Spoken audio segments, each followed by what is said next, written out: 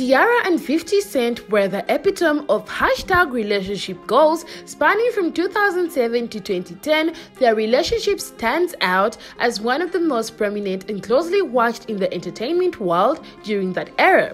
They were both successful in their respective careers, they looked amazing together, and they seemed to genuinely enjoy each other's company. Ciara, who One do you person. pull up and who do you let drown? Oh, pull up and let drown. Yes. One is drowning. One, I, it's, one is gonna drown. Yes. Yes. Has to drown. You gotta leave them. Boo boo. I don't know who Boo Boo Uh oh, is. pet names. We We don't don't know. love fifth. Yeah. Boo boo. Who? I'll pull up five oh. You bring, you pull Wow. up 50 Cent and let Bob. But as we all know, fairy tales don't always have a happy ending. The couple hit a bump in the road and eventually called it quits. But what exactly happened? Why did they break up? Well, let's get into that nitty gritty details of the Ciara and 50 Cent relationship. I'm single. So the rumors of you and Ciara are just rumors? Well, that, that actually stems from the song we did together, Can't Leave 'Em Alone. Uh huh. I knew that was gonna happen. I mean, on the record, I said, "Be happy, I'm a girl, cause I'm happy, I'm your man." Uh huh.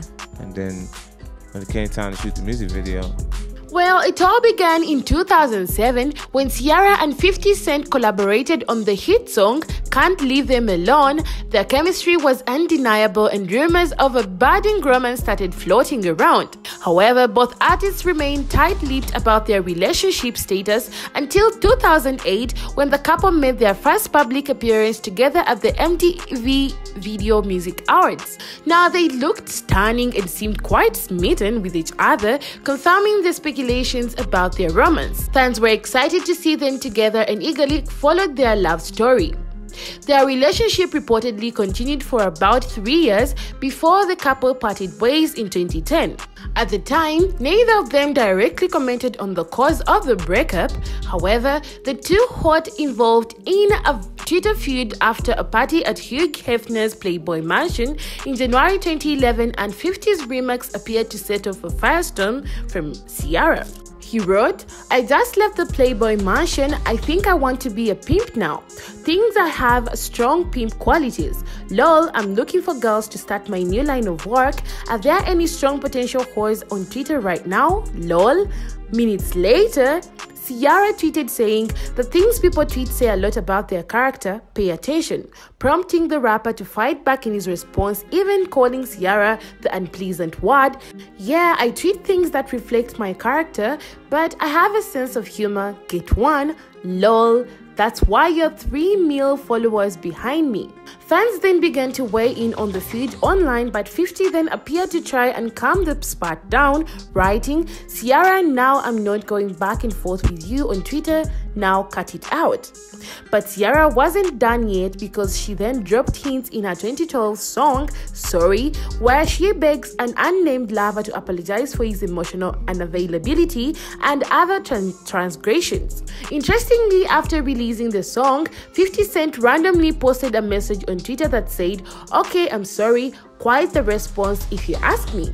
Anyway, she was asked about the tweet and whether she was satisfied with it in a later interview with XO Nicole. Ciara said she was speechless, saying she honestly didn't know what to say. But of course she did, because later in 2012, Ciara went on the Rickey Smiley morning show and suggested that they had indeed split as a result of 50 Cent's alleged fear of love. She said, He's obviously far from afraid of anything that he can control. But at the same time, him being not afraid of anything in that way, the one thing he is afraid of is love. And with that being said, in a sense, he is afraid of me. Seemingly responding, 50 Cent claimed in an interview with Howard Stern that Ciara had allegedly continued to try to make it work after the breakup.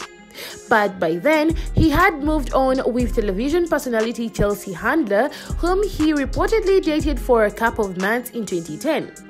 Fast forward to 2014, the former couple found themselves in the headlines because of the nature of 50 Cent's relationship with Ciara, with many fans speculating that they were still in contact. Now, this came in shortly after 50 Cent said on the Rickey Smiley Morning Show in 2014 that he hadn't talked to her in a while but admitted that he still considered Ciara a friend and continues to talk to some of her family members.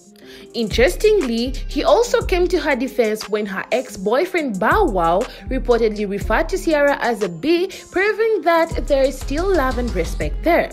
50 Cent tweeted, okay, I'm sorry. Were you satisfied with that? You know, Nicole, I don't even know what you're talking about right now. I honestly don't know what to say.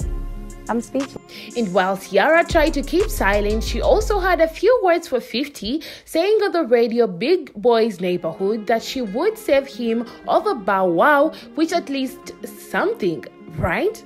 Anyway, the two seemed to move past their relationship until recently when 50 Cent made an Instagram post to look back and celebrate his third album, Curtis 16th anniversary.